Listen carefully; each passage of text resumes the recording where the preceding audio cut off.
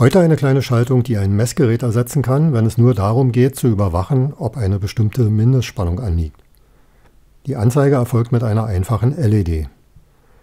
Die Schaltung besteht im Grunde genommen aus einer Konstantstromquelle, bestehend aus dem Transistor, der Z-Diode, den beiden Dioden an der Basis des Transistors und den Widerständen R1 und R2. R3 lässt schon einen gewissen Ruhestrom durch die Z-Diode fließen.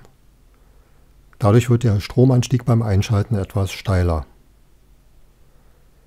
Die Schwellspannung ergibt sich aus der Durchbruchspannung der Z-Diode, der Sättigungsspannung am Transistor und den Flussspannungen der beiden Basisdioden und der LED.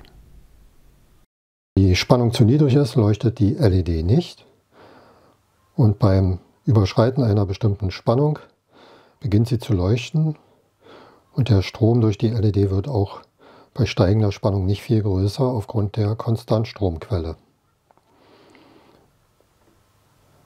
Mit den verwendeten Bauelementen liegt die Schaltschwelle etwa bei 8,5 Volt, also lassen sich hier Betriebsspannungen ab 9 Volt ganz gut überwachen.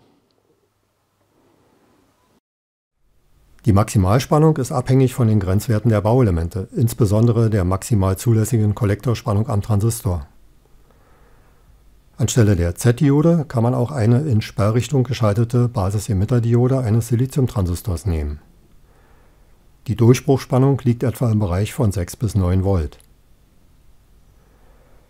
Viel Spaß beim Experimentieren und freut euch auf das nächste Video.